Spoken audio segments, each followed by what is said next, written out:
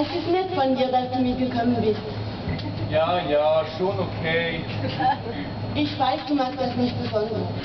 Nein, es ist okay. Willst du Sonnencreme?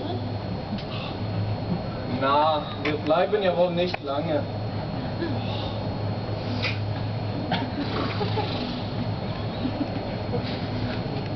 Mann, die Sonne ist so krass. Zu Hause ist es viel besser.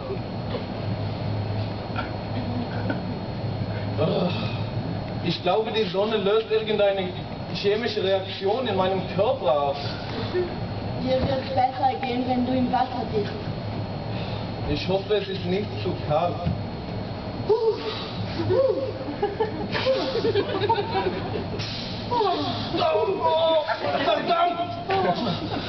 Ich kann nicht mehr meine Füße. Hey, warte, Amy! Scheiße! Ich werde sie nie einholen. Schon Dreck.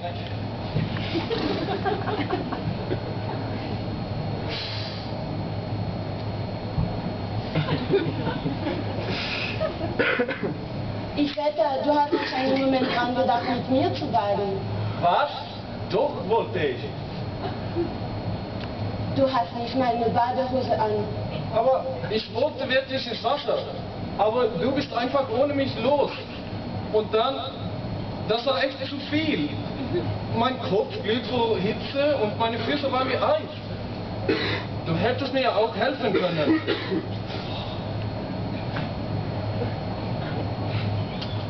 Komm, lass uns nach Hause gehen. Nein, ich will noch in der Sonne liegen. Ah, fein. Dann lauf ich halt nach Hause. Blöde Kuh. Oh, fuck. Ich bin so ein Idiot.